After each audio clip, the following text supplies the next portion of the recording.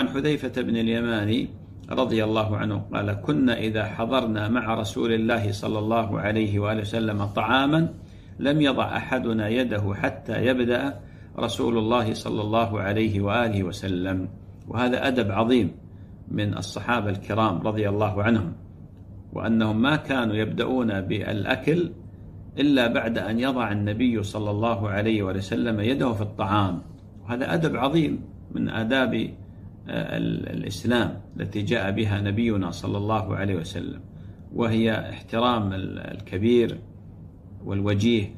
فالإنسان آه، لا يتقدم بين يدي والديه في الأكل والشرب أو مثلا أي إنسان كبير أي إنسان كبير. يؤخذ منه هذا فائدة أن الإنسان يتأدب بحضور الكبير. فلذلك الأولاد في البيت ما يأكلون قبل رب الأسرة.